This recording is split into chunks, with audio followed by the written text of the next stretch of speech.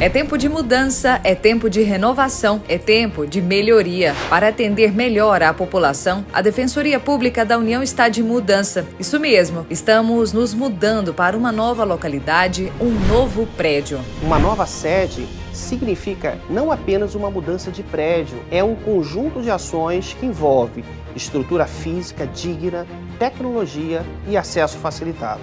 A nova sede da DPU está situada no setor bancário norte, no centro de Brasília. Assim, a DPU será vista por quem está no centro do poder federal, na esplanada dos ministérios.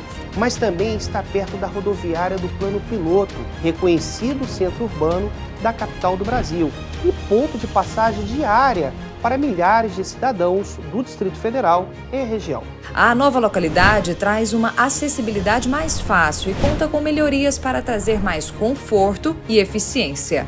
Estamos falando da economia de 175 mil reais por mês e uma redução de 22% em comparação à locação antiga. Além disso, a nova estrutura proporciona um maior compartilhamento de espaços comuns e um atendimento reformulado, mais célere que servirá de exemplo para todas as unidades do país. Isso traz mais qualidade de vida para o público interno, defensores, servidores e demais colaboradores, e principalmente para o nosso assistido. O novo prédio é a materialização dos anseios da instituição para alcançar o patamar e a visibilidade merecida, unindo qualidade, eficiência e interesse público.